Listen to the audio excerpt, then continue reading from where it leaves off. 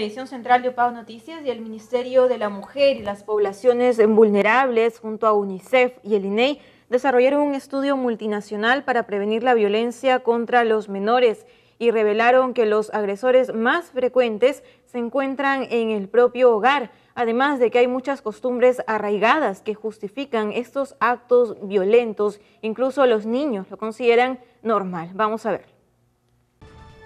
El maltrato infantil, es decir, la violencia hacia niños y adolescentes, suele tener justificaciones basadas en creencias, actitudes e imaginarios. Estos son abordados en el estudio multinacional sobre los determinantes de la violencia que afecta a los niños, niñas y adolescentes, así como en la encuesta nacional sobre relaciones sociales 2015, realizada por el Instituto Nacional de Estadística e Informática. Respecto a la situación de los menores, este último estudio se realizó en 205 colegios de primaria y secundaria a nivel nacional, teniendo como público objetivo a niños adolescentes de 9 a 17 años. Justamente este grupo etario reúne a 5.200.000 personas que representan el 16,9% de la población total del Perú al 2015, según el INEI. E.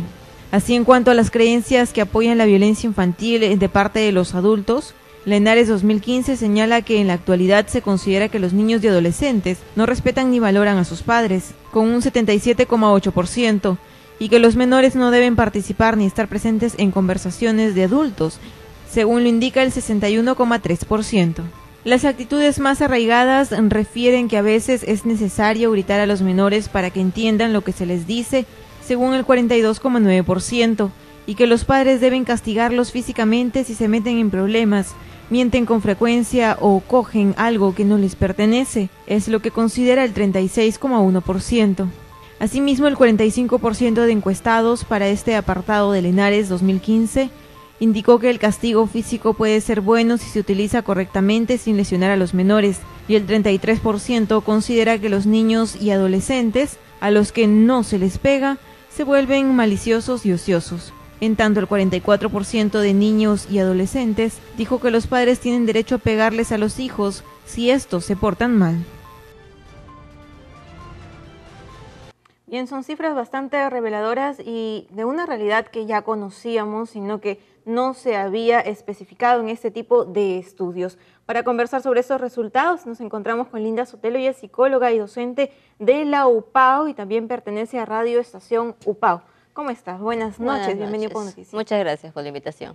Eh, preocupante lo que se ve en estas cifras que se han revelado recientemente, ¿no? que los niños también tengan inmerso este mensaje de que es natural y es normal, incluso es casi obligatorio y necesario que reciban este tipo de castigos físicos. ¿Qué considera usted?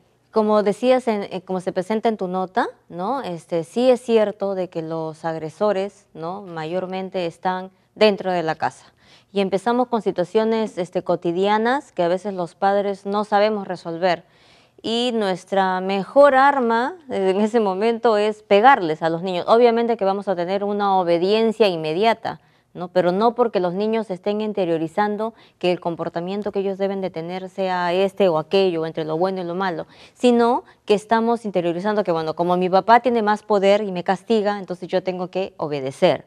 Respeto por miedo. Respeto por miedo. O sea, confundimos, ¿no? En todo caso, confundimos ese respeto por el miedo. Es cierto de que existen muchos mitos alrededor de lo que es eh, la disciplina y lo que es la violencia contra los niños, ¿no? Muchos padres justificamos esta violencia contra los niños precisamente con este cuentito, ¿no? De que los niños deben obedecer y que yo le debo de pegar para que el niño aprenda y no sea un irresponsable y para que el niño aprenda eh, que tiene que portarse bien, para que el niño aprenda que no debe coger cosas ajenas, que no le debe pegar al hermanito, etc. ¿no? Pero son cuestiones que los padres finalmente no sabemos manejar.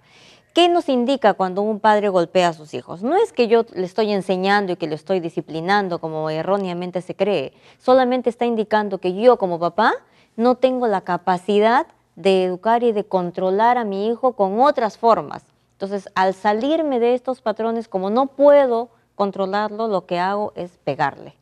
Entonces, y los niños conforme cuando un papá les pega, como reciben los mensajes no solamente de golpe, sino también con lo que el papá dice, ¿verdad? Entonces yo te pego y te estoy diciendo, tiene, tengo que castigarte porque así vas a ser un mejor hombre, vas a aprender, vas a estudiar. Entonces los niños van interiorizando esos mensajes. Ah, mi papá me está pegando porque quiere lo mejor para mí. Mi papá me está pegando para que yo estudie más. Entonces lo vamos justificando también. Y desde niños aprendemos que es justificable esa violencia contra los niños. Y esto quizás se agrava o se interioriza más por las realidades que comparte con sus compañeros de escuela, de que también en todos los hogares es igual, no solamente en mi casa me pueden jalar las orejas, me pueden pegar por hacer alguna travesura o portarme mal, entre comillas, sino que también le pasa a mi compañerito, le pasa a mi amiga, le pasa a mi prima, entonces ahí lo vuelven ellos como que más normal en, en sus pensamientos. Claro, en algunos contextos sociales donde existe mucha violencia en los hogares, este, es un hábito común, ¿no? Y los niños comparten esas experiencias pues dentro del aula, en el recreo, ¿verdad? y, o cuando ellos mismos se ven golpeados o la profesora lo nota, ¿cierto? Entonces en algunos contextos sociales esto es como habitual, ah, tu papá te pega, así, a mí también, ¿no? Y entonces lo ven como normal, entre comillas, que para que ellos obedezcan deben recibir castigo.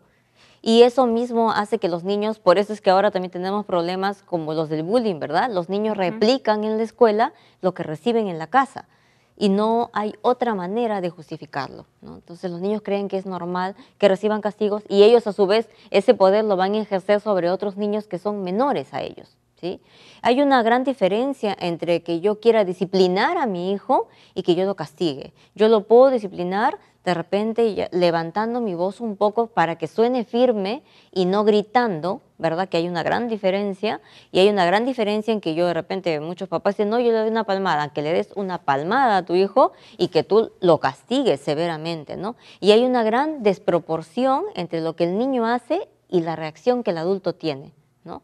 Eh, una niña le bota el café, al papá en la camisa y el papá vocifera, grita, se va contra la mamá, etc. ¿no? Es una reacción totalmente desactualizada, desaforada y que saca de contexto todo. ¿Qué hago? ¿Castigo a la niña severamente? ¿Le puedo agarrar a correazos?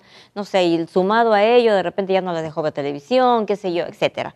Entonces, hay una desproporción entre lo que los niños están haciendo y los papás cómo solemos castigar. O incluso los castigamos en ese momento y llegan del colegio y los seguimos castigando. Ah, no, como te puedo mal en la mañana, no tienes televisión tampoco. ¿no? ¿Te das cuenta? Hay una gran este, idea equivocada de que los castigos tienen que ser así. ¿no? Y los niños van creciendo pensando de que eso es correcto y que es correcto que los demás abusen de nosotros. ¿Y en qué medida eh, un castigo se está dentro de los parámetros de lo normal? Ahora los niños son bastante hiperactivos y hay muchos padres jóvenes que quizá en, su niñez también fueron castigados eh, de manera física y entonces ahora consideran de que, bueno, tampoco le voy a gritar a mi hijo, no le voy a decir nada y pierden el control ya de los pequeños. Y ahí es cuando se acumula toda esta impotencia a veces de muchos padres es cierto. y empiezan con el castigo físico. ¿En qué momento se transgrede esa barrera de corregir al pequeño y pues ya pasar a la violencia física? Lo que pasa es que muchos padres, eh, actualmente con esta modernidad, como tú dices, se quieren ¿cuál sería el término? Igualar de repente a nuestros hijos. No, no sabes qué, yo voy a ser amigo de mis hijos, dice. Entonces perdemos el punto de vista de los padres. Nosotros tenemos la obligación de ser padres primero. No podemos ser amigos primero de nuestros hijos, porque en ese momento, en esa línea tan débil, es que perdemos el control que debemos ejercer sobre nuestros hijos. Entonces, esto de que yo soy tu amigo, sí, efectivamente puede funcionar. Yo puedo generar confianza en mi hijo, debo tener la capacidad de crear vínculos afectivos adecuados para que él pueda comunicarse conmigo y cuando me pase algo malo, yo sea la primera persona a la que acuda, ¿verdad? Pero si yo primero soy amigo y luego papá, no voy a poder establecer límites, no voy a poder establecer normas y esa confianza se pierde. Entonces yo no debo perder de vista que primero soy papá, primero soy mamá y luego trato de ganarme la confianza de mis hijos. Pero el ser amigo de los hijos no significa que no le voy a dar responsabilidades, que yo voy a hacer todo por mis hijos, que no le voy a poner límites, que no le voy a poner normas. Entonces cuando eso se transgrede, perdemos los papeles. ¿No? Entonces luego ya no sabemos cómo controlarlos. Entonces cuando ya son adolescentes, los chicos piensan, ah, no, como mi mamá y mi papá somos amigos, me van a entender, ¿no? Entonces yo me salgo. No, no, no, me dijo que llegue a las 12, pero yo llego a las 2 porque mi papá me va a entender. ¿no? Entonces empezamos a transgredir normas, una chiquita, una más grande, una más grande, y luego cuando los papás quieren ejercer control ya no se puede. ¿Qué hacemos? Les pegamos. Ya se sale todo de control. Se sale todo de control. Y también hay algunos padres que cuando te dicen, cuando les preguntan, ¿no? Tú maltratas a tu hijo, tú ejerces violencia sobre él. No, yo solamente le doy palmazos, le jalo las orejas, le jalo el pelo, lo jaloneo, pero nada más.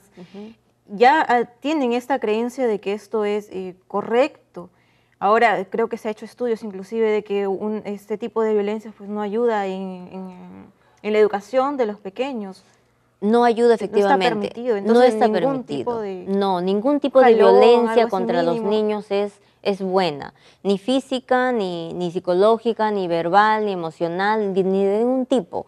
Muchos papás dicen, pero es que tengo que pegarle para que me obedezca, es que tengo que gritarle para que obedezca, ¿no?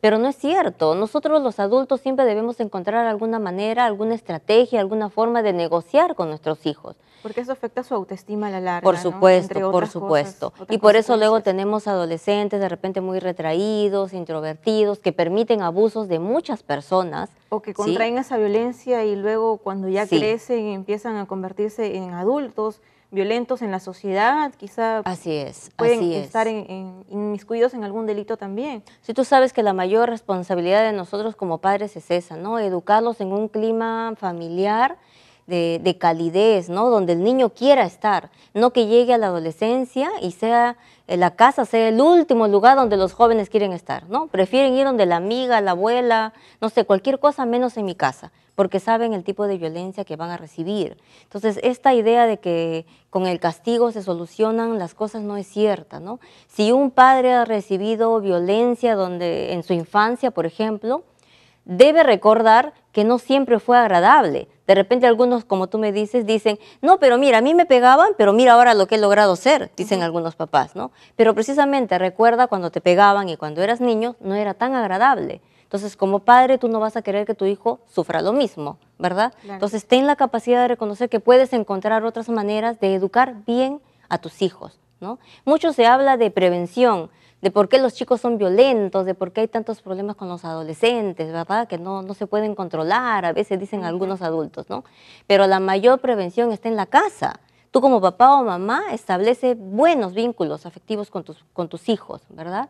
Reconoce que pueden haber formas de educarlos bien, de guiarlos, y ellos luego van a trasladar lo que tú les enseñas a otros ámbitos, al colegio, a sus amigos, ¿no? Cuando sean más adolescentes, cuando trabajen, etcétera. Entonces no van a permitir niñas que los enamorados les estén pegando, por ejemplo, ¿no? O que te estén controlando a cada rato con el teléfono y digan, ay, mira cómo me quiere, me pregunta cada rato dónde estoy. No, es una forma de ejercer control también, ¿no? Hay muchas señales por ahí que nos van avisando que el abuso de alguna forma viene. Bien, tendremos tiempo quizá en otra ocasión para conversar sobre esos temas que nos ha quedado cortísimo realmente los minutos. Muchas gracias por haber estado con nosotros. A ustedes. Vamos a ir a una breve pausa, ya regresamos.